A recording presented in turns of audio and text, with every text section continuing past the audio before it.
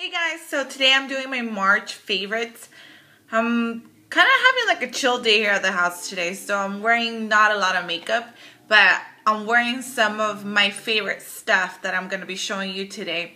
Um, March has been a great month for me and trying out new products, and I have um, face products, nail, and hair. And first thing is that I have three foundations. I know, kind of outrageous, but I've been on this quest on finding like my holy grail foundation. So I have these three here. The first one is by Makeup Forever. This, this is the matte velvet. Uh, I like it because it is that kind of foundation that um, leaves you pretty matte. It is kind of pricey. I think it was like was either 32 or 38. I can't remember. But more than what I wanted to pay for a foundation, but I did. Oh. Uh, and I'm in the color 65. The second foundation is Revlon Color Stay. So this foundation has bomb coverage. Like, really good coverage. I'm not kidding. Like, it's crazy how good the coverage is. Um, the only thing is that I have I guess I have oily combination skin. I, but I'm really oily here and here. And I tend to, regardless, get oily with this. I see oils coming through. So because of that, um, you know, I still um, was looking for the right foundation. But coverage-wise, I think this one is amazing if you have oily skin. Uh, but I did find a great foundation. And it's the CoverGirl 3-in-1 Outlast. This is like the new foundation that they have. Uh, this, oh my god. This stuff is the, can I say a bad word here? You know, like it really is. Like it is amazing. Oily skin. I wore this literally for 13 hours. Didn't have to do any touch up and like it's crazy how good matte how what a good mattifying foundation it is. Foundation is freaking amazing. Um i love it. This is probably this is it. This is what i've been looking for. Along with that i with the face uh I've been using a lot of the Laura Mercier foundation primer only because with a foundation like this, uh, you have to, whoops, foundation like oh. that, you have to use, you can't really use if you have oily skin a mattifying primer because then you end up looking dry and that's what happened to me. But Laura Mercier and this is, has been my to-go primer for this month. And to set my foundation, I've been using the good old banana powder that we used to use in theater class when I was doing theater. And um, this stuff, I just set my my makeup with this and it lasts even longer. So, uh, another thing is the Maybelline Age Rewind Concealer. And this is um, supposed to help with dark spots.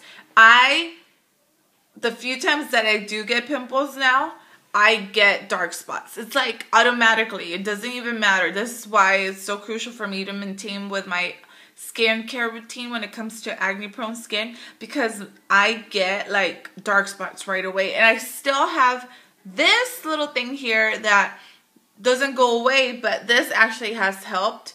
Uh, so comes with a little applicator like this. I don't know if I'm too fond of the whole application and the twisting and stuff, but I mean, that's how it comes.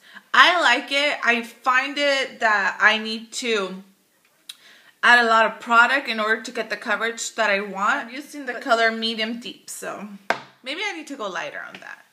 And another great thing that I've been using has been the voluminous fiber lash from L'Oreal.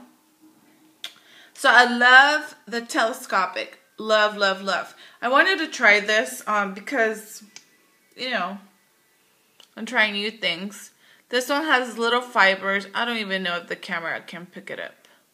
Um, I like it. I think that it makes my lashes way thicker than what they are, I don't find it that it's a good mascara to build up because it'll get clumpy. And if you have, you know, somewhat decent lashes, then you can use this and it'll just make them look extra big. And lastly, for face products, uh, it is this lip gloss that I've been turning to. This is in the color Outer Glamour, and it comes with the little wand like this. It's like a hot pink with shimmer. Sticky, as I thought they were going to be, but that's a good thing. And that is it for face products. Moving on to nail products. This is my favorite nail polish of the moment, which is Sally Hansen nail polish in the color mint. And if you can see, I'm wearing it. And I made the little initials for my husband's name. And this was $2.99 at Rite Aid. And I am so impressed. I've had one long time ago, like a yellow color. I'm so impressed how pigmented these are. Just because, you know, I only added like two coats. And normally, I just, even something's pigmented, I still like will add like two, three coats. But it's just such a great nail polish and such a pretty color. So $2.99. Know that in one of my favorites, I don't know which one, I had a nail polish remover by Equate. But, and I was loving it. But, Sally Hansen has one the same and holy moly, this is even better. This is crazy status, you guys. Like, I'm not even kidding.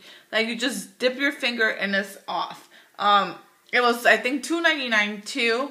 And the only thing looks like that. You just dip your fingers in there.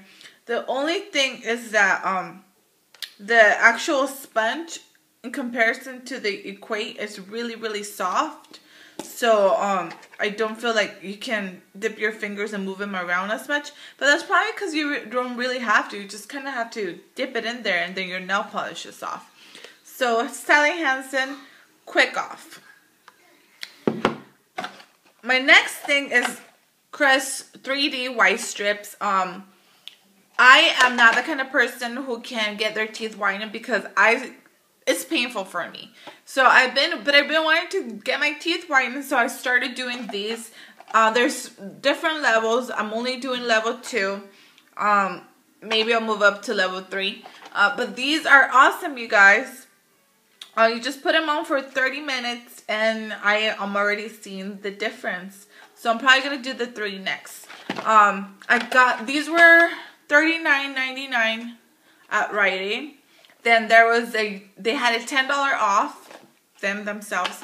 And I had a $7 off coupon, so I paid 22 something for them, and you can't beat that. So, uh, next for hair, uh, it is the L'Oreal Feria Ombre. And I am wearing my hair straight today, so you guys can see uh, because I did a video review on it and you guys saw it curly, but here it is straight.